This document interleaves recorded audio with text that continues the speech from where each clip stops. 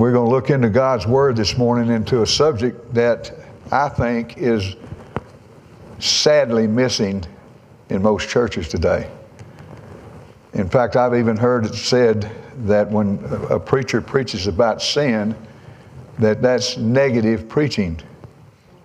Many other things have been said. Sin is my topic this morning. Sin is not preached, and if it is preached, in some circles it's taught that turning from sin is not required for salvation. And even that a Christian can cease believing and still be Christian. Here's another one that you might find interesting. Christians may fall into lifelong carnality, that is, living as a person who is unsaved. And they, uh, Christians can do that. Disobedience and prolonged sin are no reason to doubt one's salvation. Now, how in the world could biblical scholars come up with these ideas? It's amazing, isn't it? We don't want to run people off if we talk about sin. That's a current thought also. But, folks, can I tell you, even before I get into the message this morning, God hates sin. Sin is an affront to God. Well, just in case you don't know what sin is, I'm going to give you a definition real quick.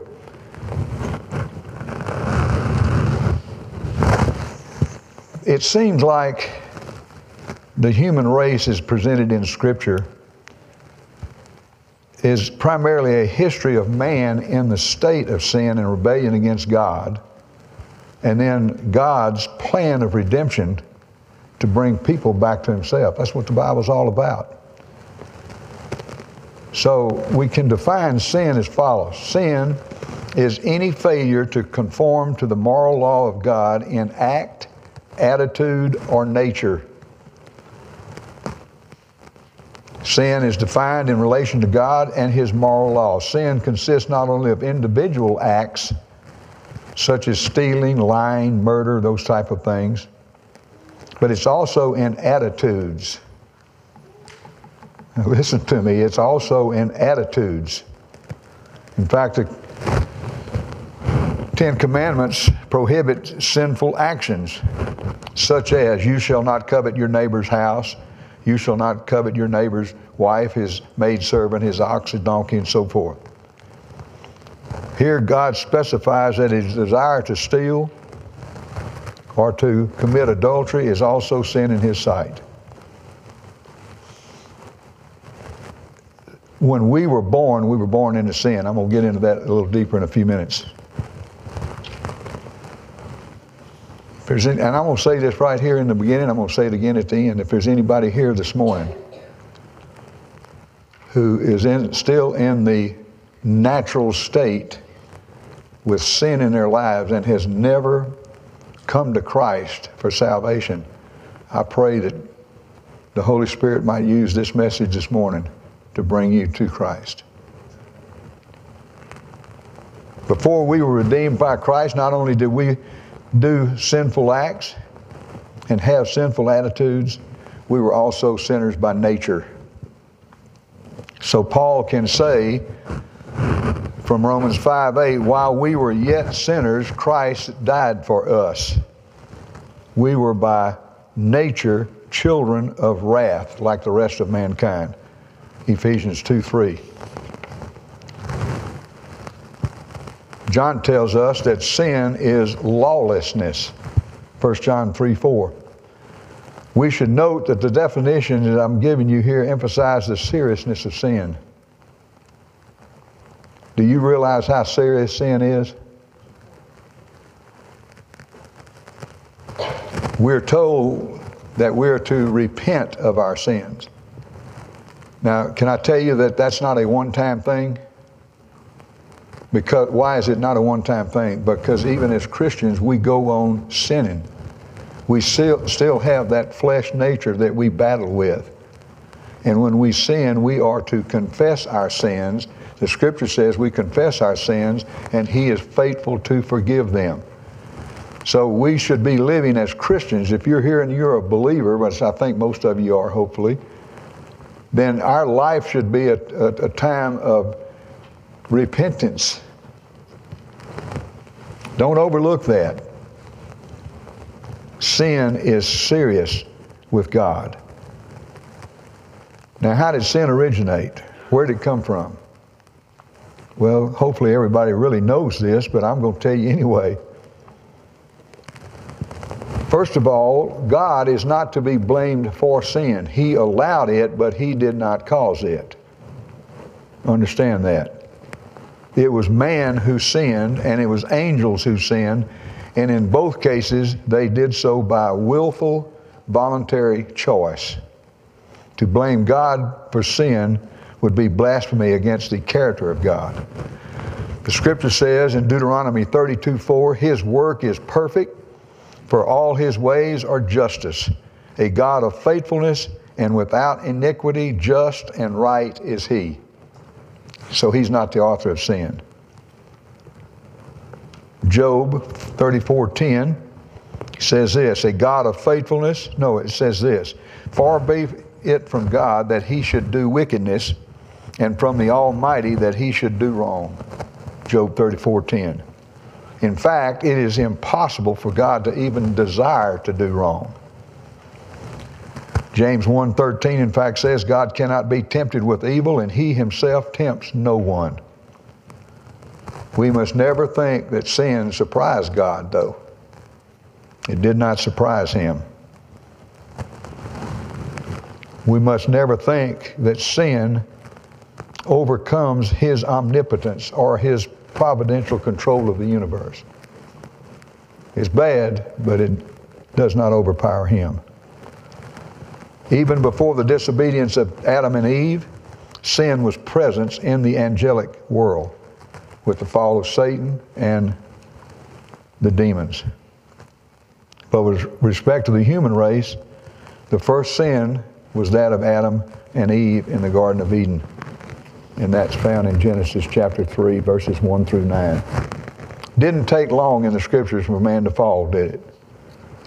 Can you imagine man was placed in that garden by God and everything, the environment and everything was perfect?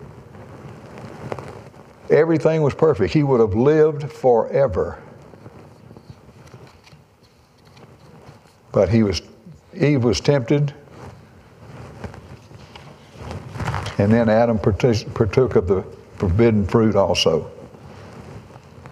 Well, how does the sin of Adam affect us? Scripture teaches that we inherit sin from Adam in two ways. Number one, we are counted guilty because of Adam's sin. In other words, we inherited this from Adam. And don't, I hope this never enters into your mind that you say that's not fair.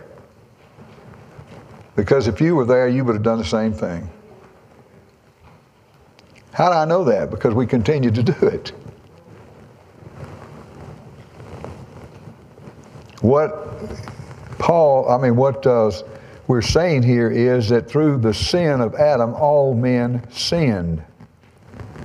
All men sinned. Not some, all men sinned. That's what Mel just read a few minutes ago. All have sinned and come short of the glory of God. Sin put man in a very precipitous place. We became, because of sin, we are, were enemies of God, and His wrath rested upon us. That's a terrible position to be in, isn't it? The idea that God counted us guilty because of Adam's sin is further affirmed by Romans 5 18 and 19, where it says this listen, then as one man's trespass led to condemnation for all men, so one man's act of righteousness leads to acquittal and life for all men. For as by one man's disobedience many were made sinners, so by one man's obedience many will be made righteous. Glory, hallelujah. When Adam sinned, God thought of all who would descend from Adam, and they would all be sinners.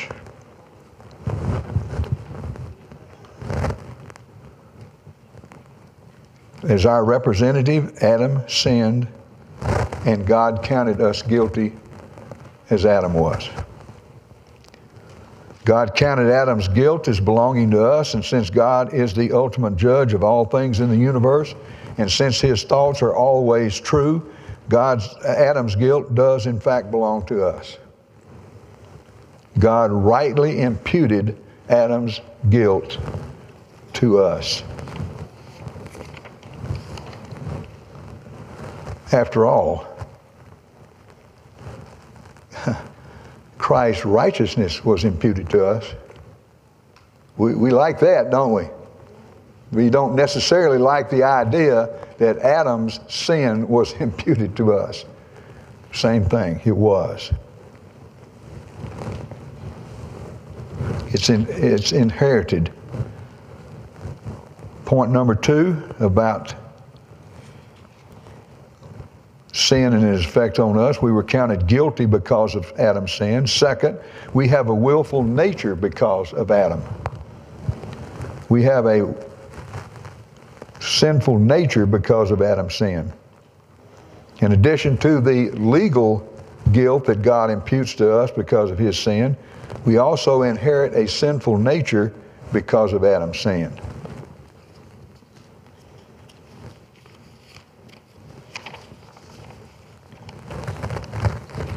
Sometimes that's called original sin. That's a term that you hear often. Listen to what David had to say in Psalm 51:5. This is his confession of his sin against, well, you know who it was against, I'll, I'll quote it here.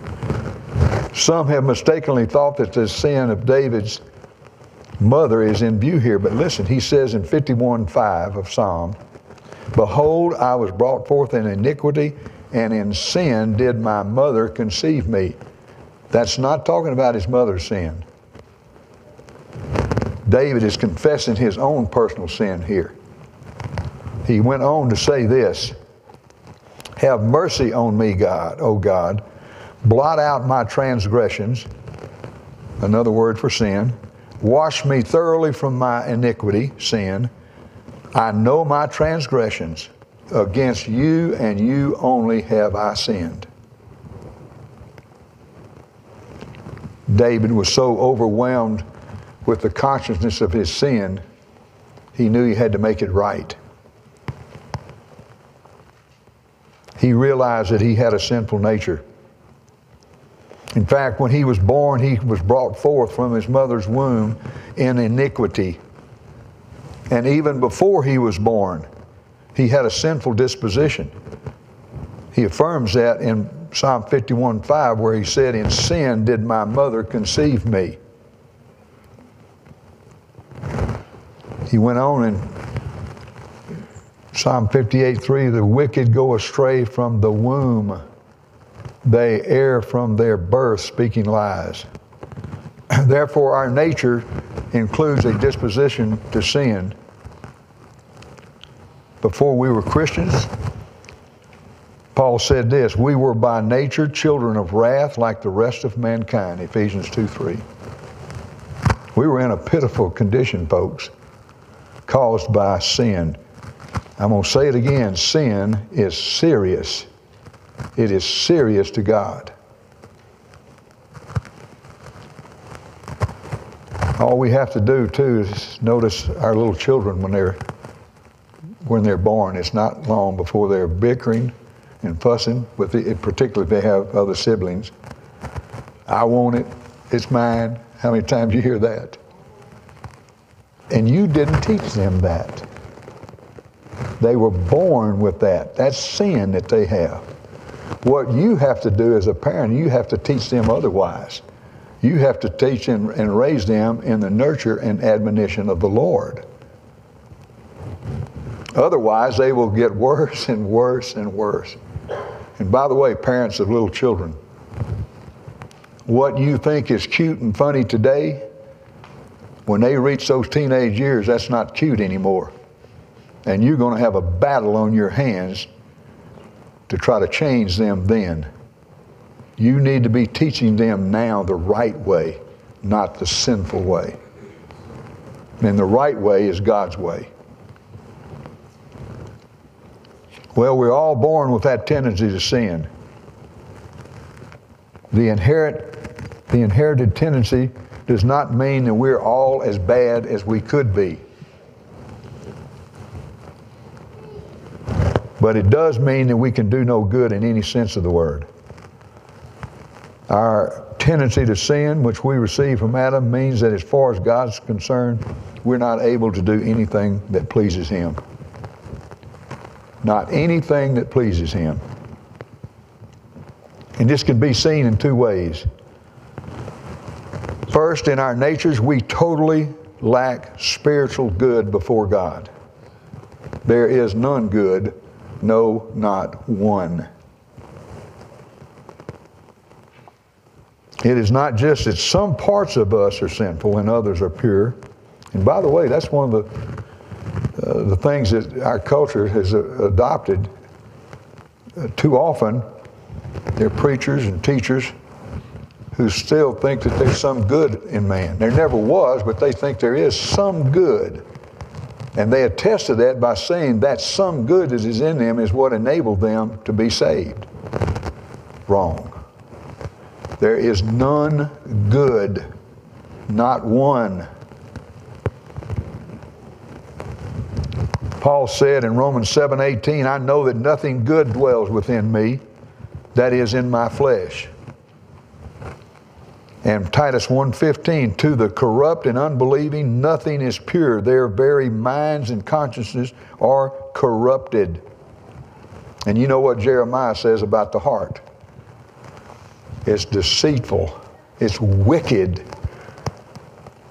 It's corrupted. It's who can understand it, he says. You can't even understand your own heart. And yet today, the, the current thinking is, is follow your own heart. That's a that's the worst advice you can give anybody. To follow your heart, because your heart is wicked.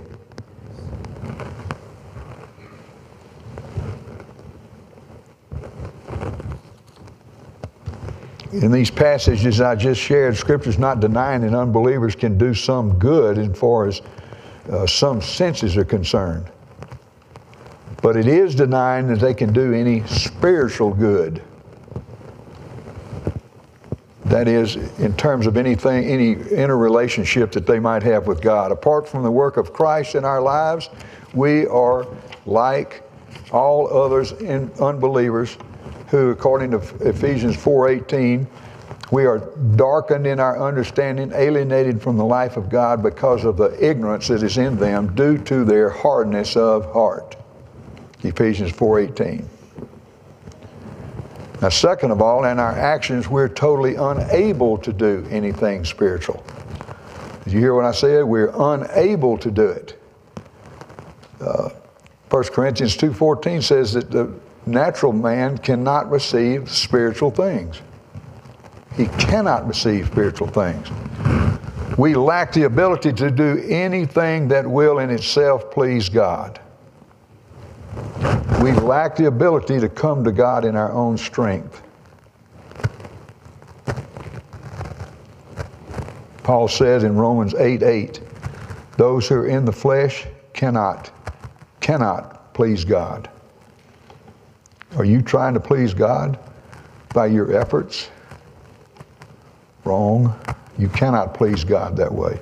And certainly, an unbeliever has, a, it's totally impossible for him to. An unbeliever is in a state of bondage and enslavement to sin. You realize that you, you could only do what your master, Satan, wanted you to do when you were an unbeliever. But praise God, when you came to Him in faith, when you came to Jesus Christ in faith, you now swapped fathers. You now changed masters. You're now God's slave to do good, whereas you were Satan's slave doing only evil. That's a wonderful transition. And it was all wrought by God. He did it. No longer are we in the bondage of enslavement to sin.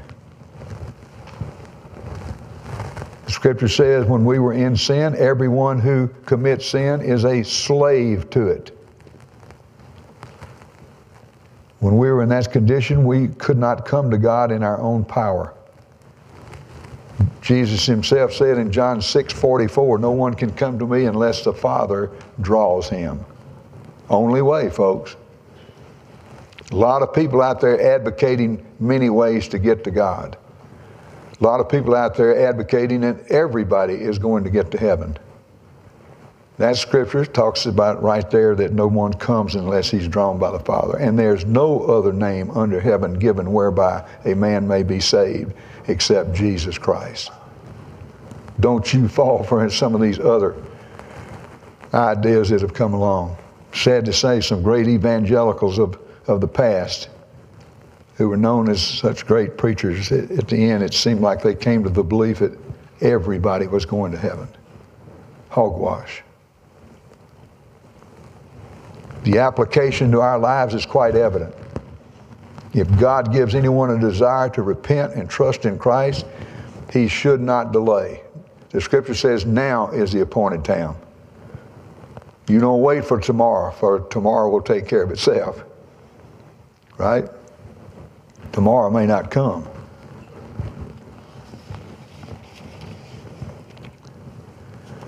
Well, just how bad is sin? Let me take it a little bit further. If it's been, as Mel so aptly pointed out, if it's been kind of bad news, let's go a little bit further with the bad news. Genesis 6 5 says this Then the Lord saw that the wickedness of man was great, and that every intent of his heart was only evil continually. We're talking about the extent of sin now. How bad is it? We've already mentioned what Jeremiah said in Jeremiah 17 9. The heart is deceitful above all things and desperately wicked. Who can know it? Sin is a disease which pervades the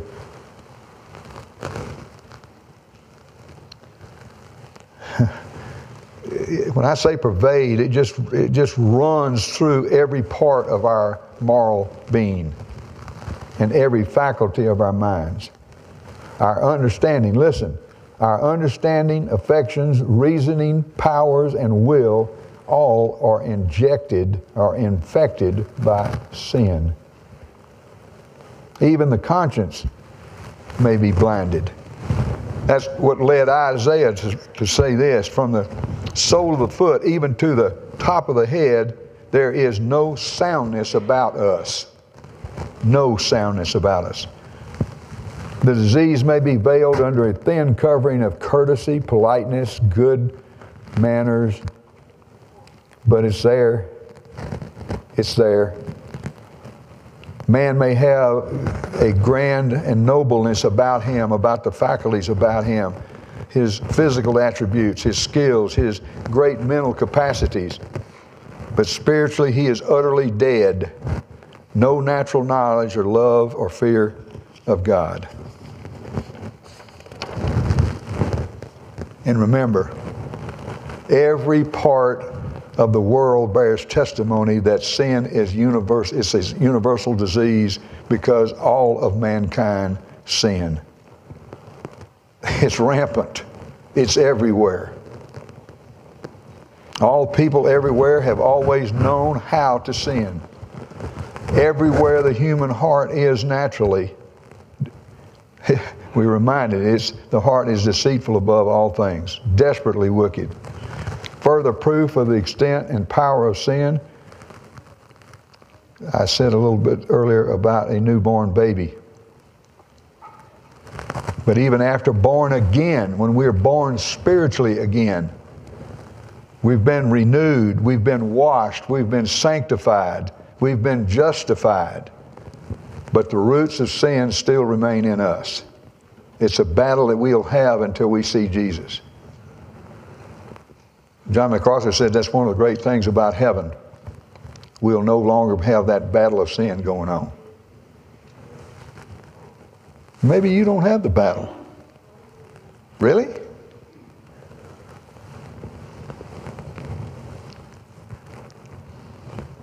Sin now, as a believer, Scripture teaches us it no longer has dominion over us.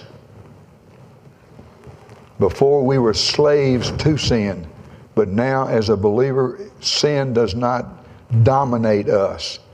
If sin dominates your life, I would tell you you need to examine yourself to see if you are truly a believer. If sin doesn't hurt, if it doesn't bother your conscience, you better check up. When we sin as a believer, it should grieve us just as it grieves our Heavenly Father. David realized he's, he sinned, but he, his, his confession said that against you and you only have I sinned. Now, of course, we know he sinned against Bathsheba his wife. But the real sin was against God, and he understood that. There, as a believer, continues to be the fight between the flesh and the spirit. In fact, this shows and teaches us the enormous power that sin has. We must understand this. And we must have no confidence in the flesh, never forgetting to watch and pray lest we too fall into temptation. I don't think that man realizes the exceeding sinfulness of sin in the sight of God. Did you hear what I said? I don't think that man realizes the exceeding sinfulness of sin in the sight of a holy God. Psalm 5, verses 4 and 5 says, You're not a God who takes pleasure in wickedness. You hate all workers of iniquity. Job 4:17 Can a mortal be more righteous than God? Can a man be more pure than his maker? Psalm 7:11 God is angry with the wicked every day. But we, on the other hand, poor, blind, dead creatures, here today, gone tomorrow. We're born in sin, surrounded by sinners. We have no line to measure the awfulness of sin. By the way, God sets the standard, man does not. God says this, sets the standard of what sin is and what it is not. we must settle firmly in our minds that sin is, quote, from Jeremiah 44 14, we must in our minds realize that the abominable thing that God hates is sin. He hates it. We must realize, according to Habakkuk 1.13, that God is of pure eyes and to behold iniquity and cannot look upon that which is evil. we must all realize that the least transgression, I think sometimes we as Christians wonder how, far, how close we can get to it and not be affected by it. But the least transgression of God's law makes us, according to Scripture, guilty of it all. James 2:10. The Scripture also says in Ezekiel 18:4, the soul that sinneth shall die. And as Mel read a few minutes ago, Romans 6:23, the wages of sin is death. It's serious. Scripture says that there is a worm that never dies and a fire, fire that is not quenched. Mark 9:44. Psalm 9:17 says the wicked shall be turned into hell. And on and on we could go about the seriousness of sin. We live in a society that thinks when you do something, it's, it's not so bad. Everybody's doing it. It's all right. I'm under grace now. I'm not under law anymore. Scripture says, so we go on sinning? God forbid, no. Grace does not give us the right to sin. Sin is deceitful. And this is what I was talking about. You may see the proneness of men to regard sin as less sinful and less dangerous. We're living in a culture that has adopted that t- kind of attitude now. It's only a little sin. We tend to compromise and rationalize away sin. It's, it's okay if I do this. Uh, let, me re- let me remind you that we are to flee from the very appearance of evil. Let me remind you that Christ said we're not to be a stumbling block to others. So the thing that you may see as being all right, and I'm not going to get off and, and chase that necessarily, but something that you may deem to be all right, if it could be a stumbling block in another person's life, you're not to do it. Sin is so terrible that nothing but the cross and the passion and mercy of our Lord Jesus Christ could relieve us from this nature that we were born with. His substitution and atonement, His blood that He paid. The Son of God could make satisfaction to the Father through that shed blood, that atonement that He made for us. And not until Christ comes again shall we fully realize the sinfulness of sin. It's deceitful. It's deceitful. It's extremely subtle. We ignore the inevitable results of the love of money, prestige, worldly power, tampering with temptation. Sin is so subtle, it never comes to you and says, Hey, I'm your enemy and I want to destroy you. It never comes that way, folks. I want to ruin you and cause you to go to hell.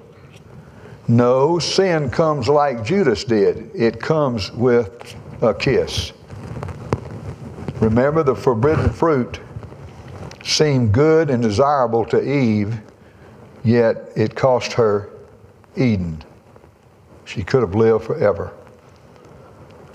Walking idly on his palace roof seemed harmless enough to David, yet it ended in adultery and murder. Sin rarely seems sin in its beginnings. Let us watch and pray lest we fall into temptation. Hebrews 3:13 says, "Exhort one another daily lest any be hardened through the deceitfulness of sin." Let me read that again. Exhort one another daily lest any be hardened through the deceitfulness of sin. We must consider what guilty, vile, corrupt creatures we all are in the sight of God. And we are all in need of an entire change of heart. If that hasn't already taken place, that's what you need to do. We all had a cause to, to cry with the publican, God be merciful to me, a sinner. Let me ask you something. We just, we just don't hear the, the seriousness of sin to the point where when we're called to make a decision for Christ nowadays, do you see anybody crying out for mercy anymore?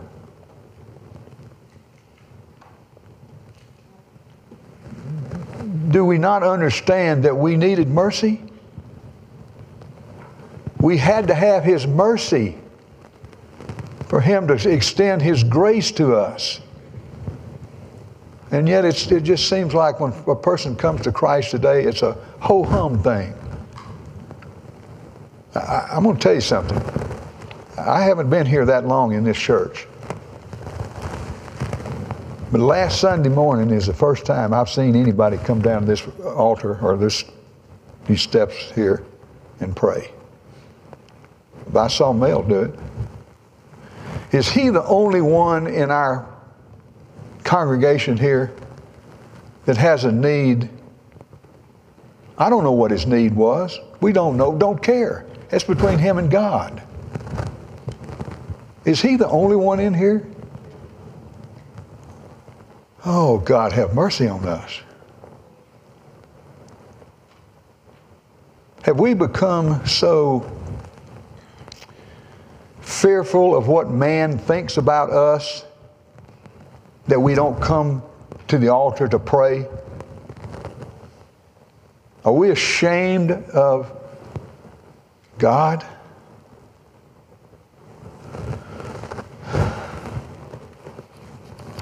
Church I was previously in, it was a good church too. God was moving, things were happening. One day the preacher was preaching. I've shared this with my Sunday school class. One day the preacher was preaching, and right in the middle of the sermon, not at the end, right in the middle of the sermon, a lady up in the balcony. We had a church of about 2,000, 3,000 people. Our balcony was full, all downstairs is full. And this lady began wailing, crying out. And we could hear her as she started running and making her way down and ran down and fell on her face at the altar there in the church. And you know what all of us spiritual people did?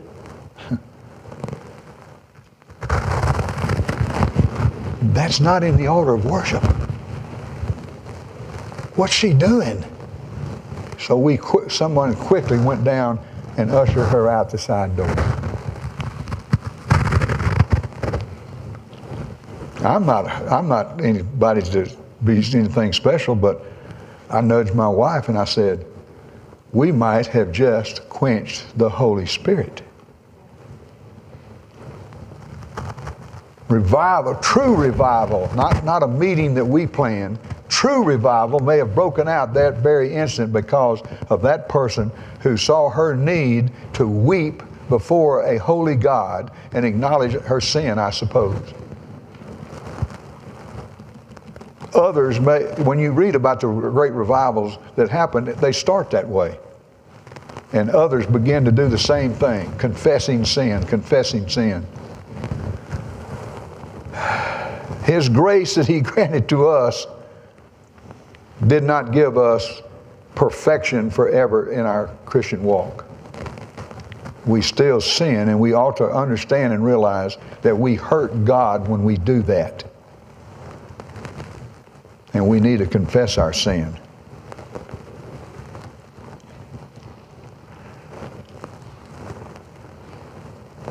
How deeply thankful we ought to be for the glorious gospel of the grace of God. Though sin has abounded, grace has abounded much more. Remember his power to save to the uttermost the chief of sinners. Paul said he was, but I think I was. And most, uh, many of you could probably attest to the same thing. Thank God there is a remedy for this hideous disease called sin. No one needs to despair and faint if he will take a right view of Jesus Christ. We have become content with a lower standard of personal holiness. And I'm sure the Holy Spirit is grieved. If we say that we have no sin, we deceive ourselves and the truth is not in us. We do not love God as we ought to. to. We're to love Him with all of our heart, mind, soul, and strength. We do not fear God as we ought to. We do not pray to God as we ought to. We give, we forgive, we believe, we live and hope imperfectly. Therefore, we must not be ashamed to confess our state of imperfections. By the way, people today call sin, we don't like to use the word sin. Remember, I said that is a negative word. It's, it drives people away. If we talk about sin in our congregations today, people won't come back. Such nonsense as that. So we call sin shortcomings. we, we flower it up a little bit. Shortcomings. Shortcomings, my eye, it's sin. It's an affront to God Almighty. So we must not be ashamed to confess our state of imperfections. We have neglected too long the daily practice of godliness. We must repent and return to the first principles. We must sit down humbly in the presence of God. Listen, we must sit down humbly in the presence of God, look at the whole subject in the face, and examine clearly what the Lord Jesus calls sin and what the Lord Jesus calls doing His will.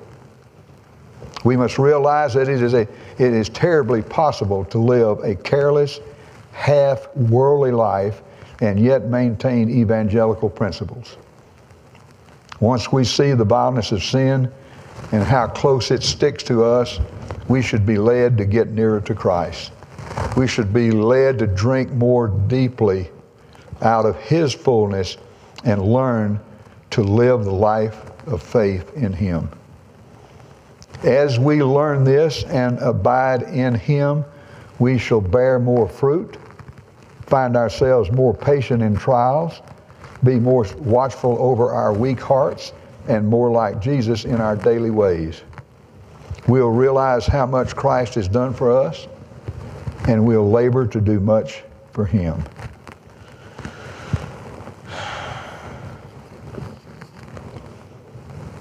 Much forgiven, much required.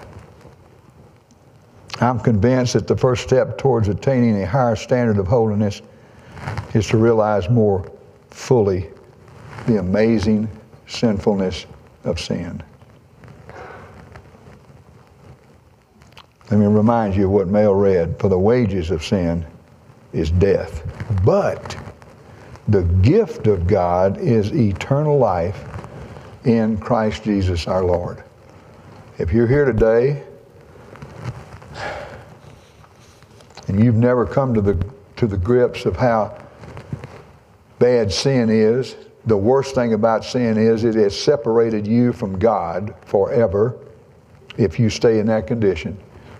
If you're here in that condition or you're listening, please do not put off confessing your sin and repenting of your sin and crying out to God for mercy today. The wages of sin is death, but the gift of God is eternal life in Christ Jesus our Lord. Let us pray. Our Father in heaven, we come to you as a congregation of hopefully majority believers who have confessed our sin.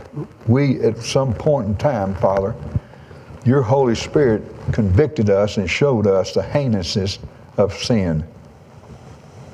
And we cried out for mercy and came to you, the only hope. The only hope. We came to Jesus Christ by faith, and we thank you, Father for what you have done in accomplishing salvation through Jesus Christ for us. Lord, I pray that we will never lose sight of how awful sin is in your sight. And that as believers, we still sin. Help us to face up to that, not rationalizing, not compromising but owning up to our sin and confessing our sin to you. May we be a confessing, repenting people. Lord, may we understand that when we do sin, we offend you in the worst sort of way. Sin is so bad, Lord, help us never forget that it cost your son his life to redeem a sinful people. And for that, we are forever grateful. Thank you that you loved us so much that you did this. Thank you for the, what the Holy Spirit may have spoken to hearts today. We praise you and give you all the glory. In Christ's name I pray. Amen.